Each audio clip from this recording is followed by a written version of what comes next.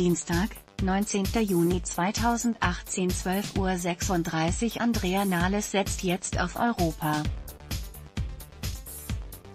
SPD-Chefin reiste am Dienstag nach Brüssel, um sich mit EU-Abgeordneten und der Vizepräsidentin der EU-Kommission, Federica Mogherini, zu treffen. Nahles ist als Europapolitikerin bislang kaum in Erscheinung getreten. Doch in der aktuellen Regierungskrise kann ein wenig internationales Flair nicht schaden, hoffen die Genossen.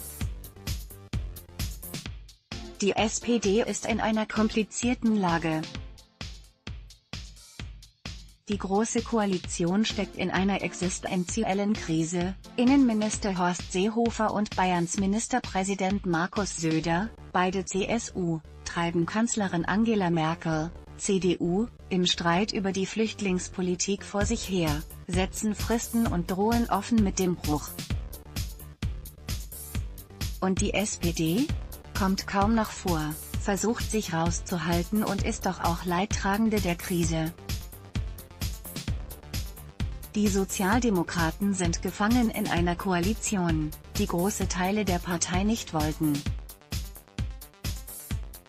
Der Streit über die Zurückweisung von Asylbewerbern droht nicht nur die Union zu spalten, er stellt auch die SPD vor massive Probleme. Inhaltlich sind die Genossen auf Merkels Seite. Sie lehnen Seehofers nationalen Alleingang ab und pochen auf eine europäische Lösung. Doch strategisch steckt die SPD in einem echten Dilemma, Nahles und Co können sich kaum links von Merkel positionieren, weil sie damit ihr Stammklientel, das die Flüchtlingspolitik der Partei ohnehin kritisch sieht, weiter vergraulen würden. Zugleich können sie die Pläne der CSU, die ja offenbar weit über die Zurückweisung an den Grenzen hinausgehen, auch kaum akzeptieren. Das würde einen Aufstand in der Partei auslösen, Nahles drohte am Montag bereits mit einer Blockade, sollte Seehofer sich durchsetzen. Kann deswegen nur sagen, dass eine Einigung zwischen CDU und CSU keinen Automatismus für die Zustimmung der SPD bedeutet, sagte sie. Es gehe um eine gemeinsame europäische Lösung und um das Wiederabweisung. Seehofers Plan löst kein einziges Problem wenn es um die eigenen Vorstellungen geht, bleibt die SPD vorerst aber noch recht unkonkret. Nahles schlägt vor, das beschleunigte Asylverfahren, das 2016 für Menschen aus sicheren Herkunftsstaaten vereinbart wurde, auch für die sogenannten Dublin-Fälle anzuwenden also zum Beispiel für Flüchtlinge aus Syrien oder Afrika, die zunächst in einem anderen EU-Staat registriert worden sind. Das wäre im Gegensatz zu Seehofers Plan vereinbar mit dem europäischen Recht, sagte SPD-Vize Ralf Stegner dem Spiegel. Wenn Deutschland im Alleingang Asylbewerber zurückweise, würde das dazu führen, dass in Italien und Griechenland kein Flüchtling mehr registriert werde, warnt der schleswig-holsteinische Landeschef, Seehofers Plan löst kein einziges der Probleme, verschärft aber die bestehenden. Die SPD-Führung saß am Montag bis spät abends zusammen und diskutierte die verschiedenen Szenarien. Einige seien sehr pessimistisch, dass Merkel und Seehofer sich noch einigen, heißt es aus der Runde. Und selbst wenn, dann droht der nächste Konflikt.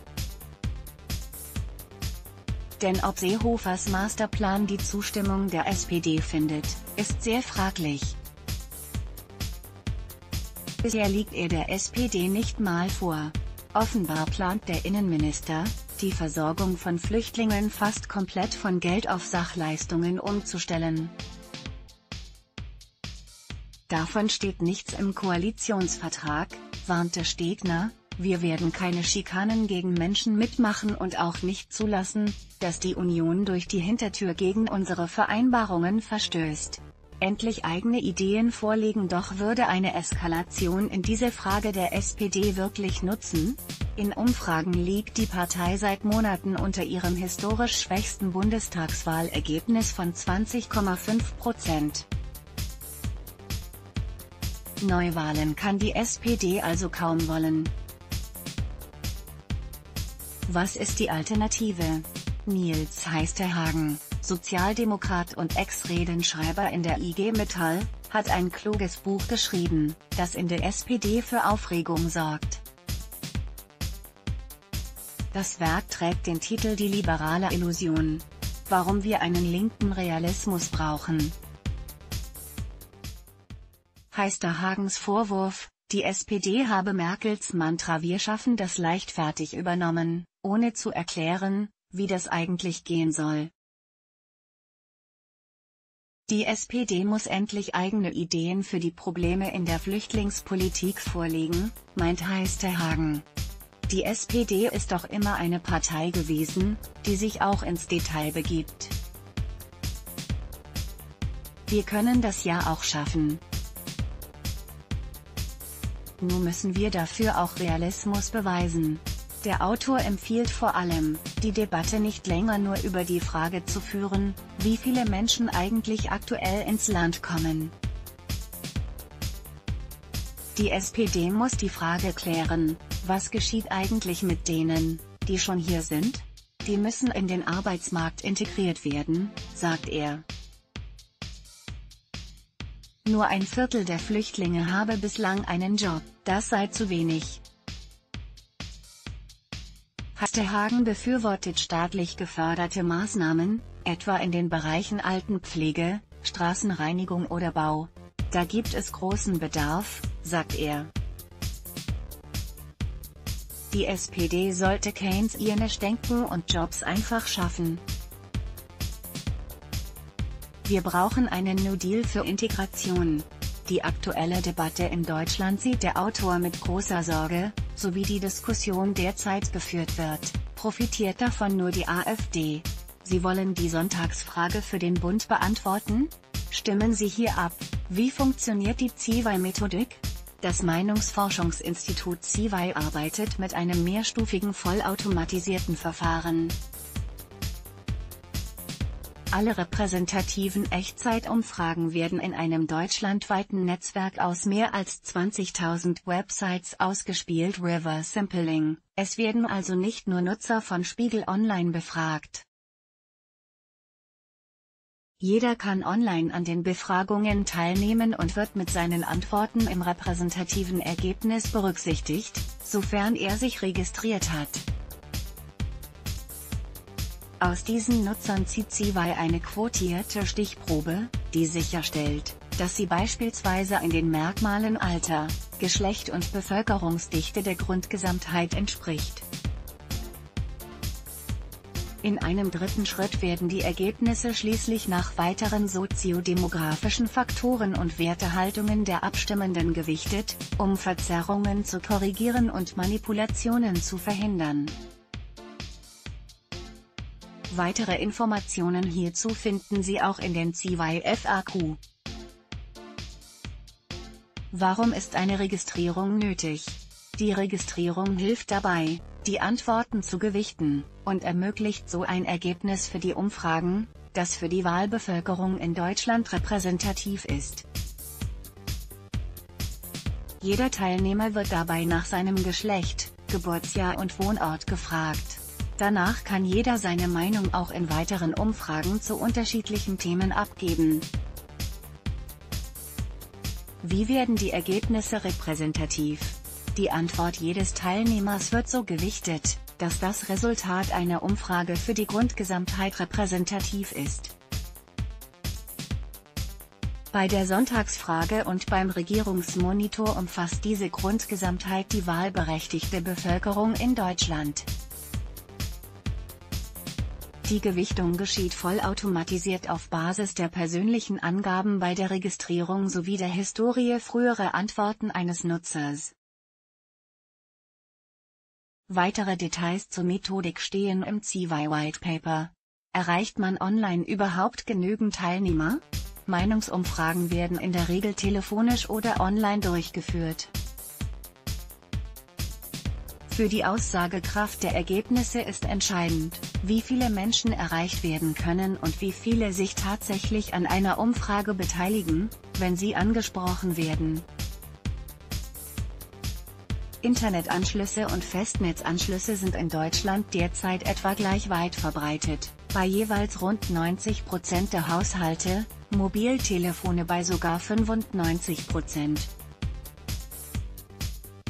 Die Teilnahmebereitschaft liegt bei allen Methoden im einstelligen Prozentbereich, besonders niedrig schätzen Experten sie für Telefonumfragen ein. Es gibt also bei beiden Methoden eine Gruppe von Personen, die nicht erreicht werden kann, weil sie entweder keinen Anschluss an das jeweilige Netz hat oder sich nicht an der Umfrage beteiligen möchte. Deshalb müssen für ein aussagekräftiges Ergebnis immer sehr viele Menschen angesprochen werden. CY-Umfragen sind derzeit neben Spiegel Online in mehr als 20.000 andere Webseiten eingebunden, darunter auch unterschiedliche Medien. So wird gewährleistet, dass möglichst alle Bevölkerungsgruppen gut erreicht werden können. Woran erkenne ich die Güte eines Ergebnisses? Bis das Ergebnis einer Umfrage repräsentativ wird, müssen ausreichend viele unterschiedliche Menschen daran teilnehmen. Ob das bereits gelungen ist, macht CY transparent, indem zu jedem Umfrageergebnis eine statistische Fehlerwahrscheinlichkeit angegeben wird.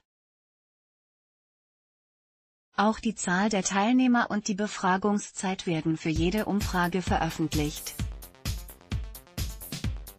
Was bedeutet es, wenn sich die farbigen Bereiche in den Grafiken überschneiden? In unseren Grafiken ist der statistische Fehler als farbiges Intervall dargestellt. Dieses Intervall zeigt jeweils, mit welcher Unsicherheit ein Umfragewert verbunden ist. Zum Beispiel kann man bei der Sonntagsfrage nicht exakt sagen, wie viel Prozent eine Partei bei einer Wahl bekommen würde, jedoch aber ein Intervall angeben, in dem das Ergebnis mit hoher Wahrscheinlichkeit liegen wird. Überschneiden sich die Intervalle von zwei Umfragewerten, dann können streng genommen keine Aussagen über die Differenz getroffen werden. Bei der Sonntagsfrage heißt das, liegen die Umfragewerte zweier Parteien so nah beieinander, dass sich ihre Fehlerintervalle überlappen, lässt sich daraus nicht ableiten, welche von beiden aktuell bei der Wahl besser abschneiden würde. Was passiert mit meinen Daten? Die persönlichen Daten der Nutzer werden verschlüsselt auf deutschen Servern gespeichert und bleiben geheim. Sie dienen allein dazu, die Antworten zu gewichten und sicherzustellen, dass die Umfragen nicht manipuliert werden. Um dies zu verhindern, nutzt CY statistische wie auch technische Methoden. Wer steckt hinter CY? An dieser Stelle haben Leser in der App und auf der mobilen stationären Website die Möglichkeit, an einer repräsentativen CY-Umfrage teilzunehmen. CIVA ist ein Online-Meinungsforschungsinstitut mit Sitz in Berlin. Das Startup arbeitet mit unterschiedlichen Partnern zusammen, darunter sind neben Spiegel Online auch der Tagesspiegel, Cicero, der Freitag und Change.org. CY wird durch das Förderprogramm Profit der Investitionsbank Berlin und durch den Europäischen Fonds für regionale Entwicklung finanziert.